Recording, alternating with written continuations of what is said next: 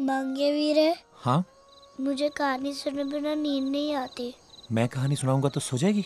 हम्म, ये ना कहानी है अंग्रेज़ी राज के उस वक्त की जब सब लोग उनके खिलाफ एकजुट हो रहे थे सिवाय एक शख्स के। क्योंकि उसको लगता था कि अंग्रेज़ बुरे नहीं हैं। उसका नाम था मंगा। ओके घर के किसी सियाने आदमी को बुला लो। सियारा यूँ जी मैं। वो तो उस दिन ऐसे बच्चों के साथ थोड़ा ज़िंदगी की हर दौड़ में अव्वल। परिवार का सबसे लायक लाडला। काम दाम कुछ करना नहीं सारा दिन चलते रहना बस। हाथों का तो पता नहीं पर उसके पैरों में जादू था। नहीं पैसे नहीं ले सकते जी। दादी कहती है इससे शफा चली जाती है। क्या तुम नौकरी करोगे? बंदूक मिलेगी जी। तो डंडा वगैरह? सज धज बन ठन चले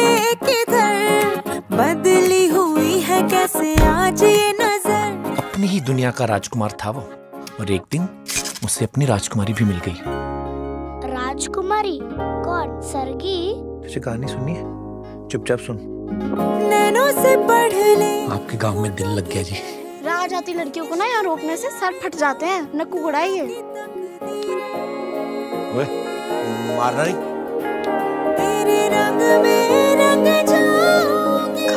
राजकुमार ने शुरू की है तो उसे ही खत्म करनी चाहिए। मैं अपनी ही पोती का रिश्ता एक अंग्रेज़ के नौकर से कर दूँ?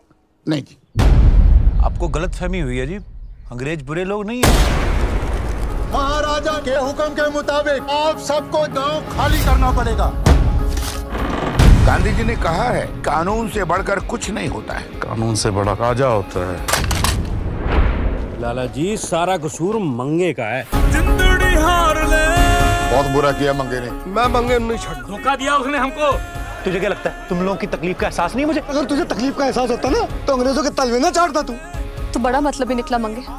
सिर्फ़ अपने बारे में सोचा तो सच में फिरंगी हो गया। वक्त आ गया हीरे जैसे कुछ तैसा दिखाने का। हक की खातिर लड़ जा तू अपनी जिद पे अड़ जा तू। हक की खातिर लड़ जा तू अपनी जिद पे अड़ जा तू।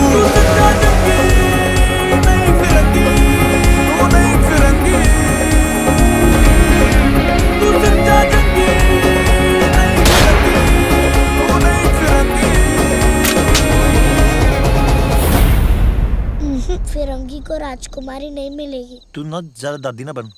मैंने नहीं सुनानी तेरे को कहानी। कहानी आगे तुझे खुद नहीं आती और मुझे सुना रहा है।